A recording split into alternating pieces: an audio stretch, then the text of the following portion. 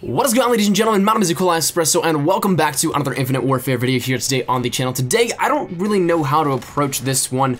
It's something that I came across a nice little Twitter video, credit to V Nicholas over on Twitter. He's the one that I saw this from and I figured no way this is real, no way this is actually happening. So I decided to jump into a game on Throwback with my good friend Hollow Point and we did this exactly the same way as the Twitter video goes, and well, what you'll see is that this needs fixed immediately in Infinite Warfare. This is something that I'm not too negative of a person, I'm not too much of the person that looks for every single flaw, but this is something that definitely does hinder the ability to play on this map throwback. So as you'll see by the gameplay, from my perspective, the right-hand side, or if you're on the other side, the left-hand side, but the red train cars have absolutely no damage reduction properties to them at all. You can shoot right through them here, and there is absolutely nothing that stops the damage at all. No drop off, no nothing like that. The Volk doesn't have an FMJ attachment either, so this is something that it's literally just the base damage, and it still kills through the entire train car at the standard rate. Hollow Point and I were going back and forth as dummies for each other here with this, and you'll see in the clips that it absolutely takes zero time to kill still, it is exactly the same. Now, the problem that I have here with this is not the fact that it is just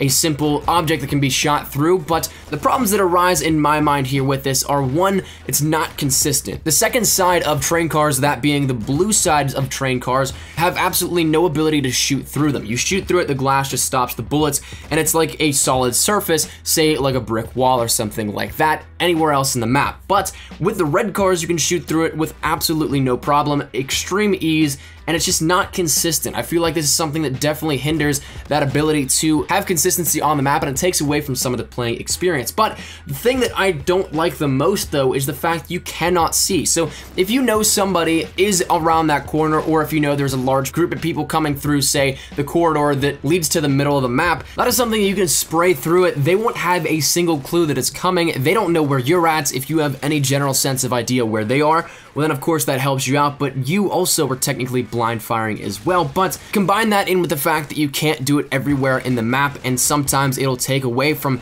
some very important plays that happen that I just am not a big fan of and I feel like it isn't the best for gameplay. Now, my biggest personal concern when I first saw this, I hadn't played Search and Destroy on Throwback ever, so my biggest concern was the fact that there was probably going to be a bomb site, because I knew there was one on the other side of the map, but I knew there was one in that general vicinity, but I didn't know exactly where the location was, so in my mind, if it was right in that mid spot where B-Flag was, you could literally take out somebody defusing the bomb without actually even having to ever pop your face out.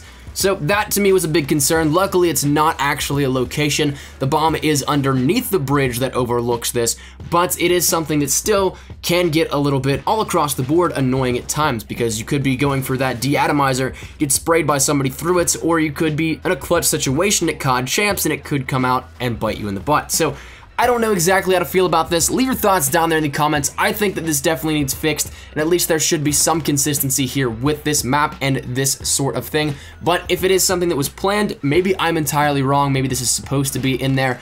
I don't know, but leave your thoughts down there in the comment section down below. What do you think of this? Do you think it should be changed? Do you think it shouldn't? Whatever it is, I'd love to hear your thoughts down there in the comment section down below. But thank you guys so much for watching. If you guys enjoyed the video, make sure you drop a like down below. And of course, if you guys like the video, it is something that it pushes it out even more so that more people can get awareness to this and maybe it can get fixed at some point in time. Hopefully soon. That's just my thoughts on it here. But if you guys are new to the channel, make sure you subscribe to stay up to date with everything Infinite Warfare. And of course, Modern Warfare Remastered. Got a cool little video here going live, hopefully tonight for Modern Warfare Master. I think you guys will enjoy, so stick around for that. Modern Video Cool Espresso. I'll see you guys later. Thanks so much for watching. Take care, and peace.